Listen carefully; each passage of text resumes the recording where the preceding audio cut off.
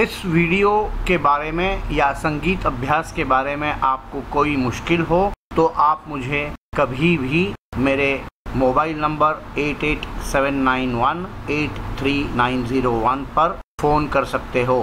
मैं आपके doubts clear करने की ज़रूर कोशिश करूँगा।